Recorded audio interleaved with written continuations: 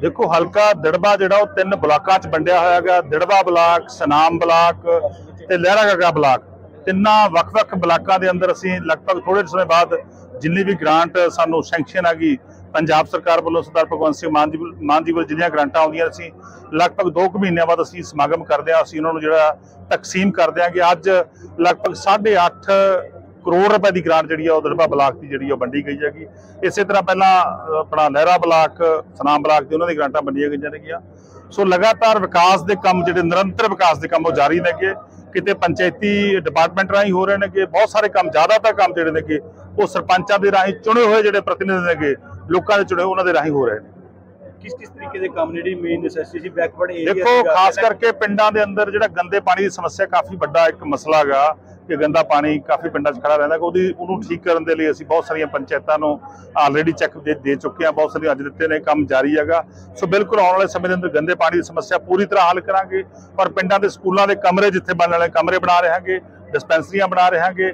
ਔਰ ਇੱਕ ਸਭ ਤੋਂ ਵੱਡੀ ਗੱਲ ਹੈ ਕਿ ਬੜੀ ਜਲਦੀ ਸਰਦਾਰ ਭਗਵੰਤ ਸਿੰਘ ਮਾਨ ਮਾਨਯੋਗ ਮੁੱਖ ਮੰਤਰੀ ਸਾਹਿਬ ਆ ਰਹੇ ਨੇ ਦਿੜਬਾ ਹਲਕੇ ਦਾ ਕੰਪਲੈਕਸ ਹੈਗਾ ਜਿਹੜਾ ਸਾਡਾ ਅਧਿਕਾਰੀਆਂ ਦੇ ਦਫ਼ਤਰ ਨੇਗੇ, ਉਹ ਇੱਕੋ ਜਗ੍ਹਾ ਤੇ ਇੱਕੋ ਛੱਤ ਥੱਲੇ ਇਕੱਠੇ ਕੀਤੇ ਜਾਣਗੇ ਔਰ 16 ਕਰੋੜ ਰੁਪਏ ਉਹਦੇ ਤੇ ਅਨੁਮਾਨਿਤ ਰਾਸ਼ੀ ਦੀ ਲਾਗਤ ਜਿਹੜੀ ਆ, ਉਹ ਆਉਣ ਦਾ ਅਨੁਮਾਨ ਹੈਗਾ ਔਰ ਲਗਭਗ ਟੈਂਡਰ ਉਹਦਾ ਹੋ ਚੁੱਕਿਆ ਹੈਗਾ, ਬੜੀ ਜਲਦੀ ਸਰਦਾਰ ਭਗਵੰਤ ਸਿੰਘ ਮਾਨ ਜੀ ਆ ਕੇ ਨੀਂਹ ਪੱਥਰ ਰੱਖਣਗੇ।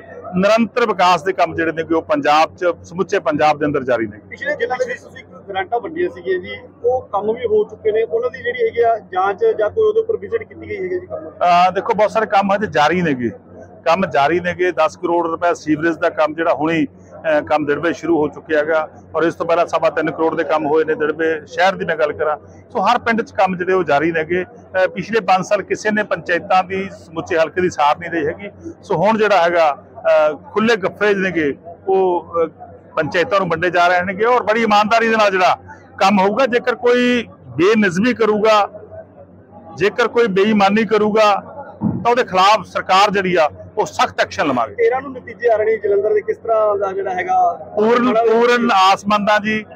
ਕੱਲ ਨੂੰ ਮੈਨੂੰ ਲੱਗਦਾ ਕਿ ਜਲੰਧਰ ਦੇ ਨਿਵਾਸੀ ਜਿਹੜਾ ਹੈਗਾ ਸਾਡੀਆਂ ਕੋਸ਼ਿਸ਼ਾਂ ਨੂੰ ਜਿਹੜਾ ਹੈਗਾ ਉਹ ਬੂਰ ਪਾਉਣਗੇ। ਇੱਕ ਸ਼ਾਨਦਾਰ ਜਿੱਤ ਸਾਡੀ ਪ੍ਰਾਪਤ ਹੋਵੇਗੀ ਇਸ ਤਰੀਕੇ ਦੇ ਵਿਸਫੋਟ ਜਾਂ ਹਮਲੇ ਦੀ ਉਹ ਹੋ ਰਹੇ ਨੇ ਕਿਸ ਤਰ੍ਹਾਂ ਦੇਖ ਰਹੇ ਹੋ ਹੈ ਜੀ ਵਿਸਫੋਟਕ ਪਦਾਰਥ ਮਿਲ ਰਹੇ ਨੇ ਜੀ। ਦੇਖੋ ਕੁਝ ਸ਼ਰਾਰਤੀ ਅੰਸਰ ਜਿਹੜੇ ਪੰਜਾਬ ਦੀ ਸ਼ਾਂਤੀ ਨੂੰ ਭੰਗ ਕਰਨਾ ਚਾਹੁੰਦੇ ਨੇ ਉਹਨੇ ਕੀਤੇ ਸੀਗੇ ਔਰ ਸਾਰੇ ਦੋਸ਼ੀ ਜਿਹੜੇ ਫੜੇ ਗਏ ਨੇਗੇ ਔਰ ਸਰਕਾਰ ਜਿਹੜੀ ਆ ਕੋਈ ਵੀ ਜਿਹੜਾ ਅਮਨ ਕਾਨੂੰਨ ਭੰਗ ਕਰੂਗਾ ਉਹਦੇ ਖਿਲਾਫ ਸਖਤ ਐਕਸ਼ਨ ਹੋਊਗਾ। ਦਿੱਲੀ ਸਰਕਾਰ ਦੇ ਵਿੱਚ ਸੁਪਰੀਮ ਕੋਰਟ ਨੇ ਫੈਸਲਾ ਲੇਗਾ ਕਿ ਦੇਖੋ ਦਿੱਲੀ ਸਰਕਾਰ ਦੇ ਲਗਾਤਾਰ ਚੁਣੀ ਹੋਈ ਸਰਕਾਰ ਨੂੰ ਇੱਕ ਲੋਕਤੰਤਰ ਦੇ ਰਾਹੀਂ ਲੋਕਾਂ ਦੇ ਰਾਹੀਂ ਚੁਣੀ ਹੋਈ ਸਰਕਾਰ ਨੂੰ ਮੋਦੀ ਸਾਹਿਬ ਲਗਾਤਾਰ ਦਬਾ ਰਹੇ ਸੀ ਔਰ ਸੁਪਰੀਮ ਕੋਰਟ ਨੇ ਇੱਕ ਬੜੀ ਮੈਂ ਸਮਝਦਾ ਸ਼ਾਨਦਾਰ ਵਰਡਿਕਟ ਸ਼ਾਨਦਾਰ ਜਿਹੜੀ ਜਜਮੈਂਟ ਉਹ ਕੱਲ ਦਿੱਤੀ ਹੈਗੀ ਔਰ ਦਿੱਲੀ ਦੇ ਲੋਕਾਂ ਦੀ ਜਿੱਤ ਹੋਈ ਹੈਗੀ, ਲੋਕਤੰਤਰ ਦੀ ਜਿੱਤ ਹੋਈ ਹੈਗੀ, ਲੋਕਤੰਤਰ ਜਿਹੜਾ ਹੈਗਾ ਉਹ ਮੈਂ ਸਮਝਦਾ ਹੋਰ ਮਜ਼ਬੂਤ ਹੋਇਆਗਾ ਸੋ ਇਹਦੇ ਲਈ ਮੇਰੇ ਸਾਰੇ ਸਮੁੱਚੇ ਆਮ ਆਦਮੀ ਪਾਰਟੀ ਦੇ ਵਲੰਟੀਅਰ ਸਾਥੀਆਂ ਨੂੰ, ਅਰਵਿੰਦ ਕੇਜਰੀਵਾਲ ਜੀ ਨੂੰ, ਸਰਦਾਰ ਭਗਵੰਤ ਸਿੰਘ ਮਾਨ ਜੀ ਨੂੰ ਬਹੁਤ ਬਹੁਤ ਮੁਬਾਰਕਾਂ।